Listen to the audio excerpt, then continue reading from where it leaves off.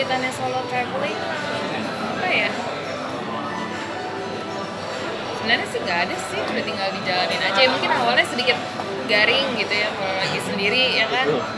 Apalagi kalau lagi makan di kafe itu paling berasa kayak kita ngelihat orang-orang di sekitar pada rame-rame ya paling nggak berdua lah gitu. Jadi makan tuh ada lawan bicaranya. Sementara aku duduk sendirian tapi ya nggak tahu sih menurut aku kan dalam hidup ya kita harus harus belajar untuk nyaman sendiri. Karena nggak selamanya kita akan berada sama orang lain kan? Dan dan eh, ya kuncinya adalah gimana caranya tuh kita bisa nyaman sama diri kita sendiri.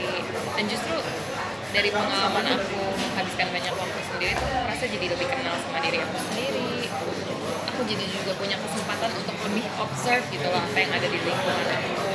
Kadang-kadang kalau misalkan sama temen tuh malah jadinya tuh nggak gitu memperhatikan lingkungan sekitar yang baru gitu.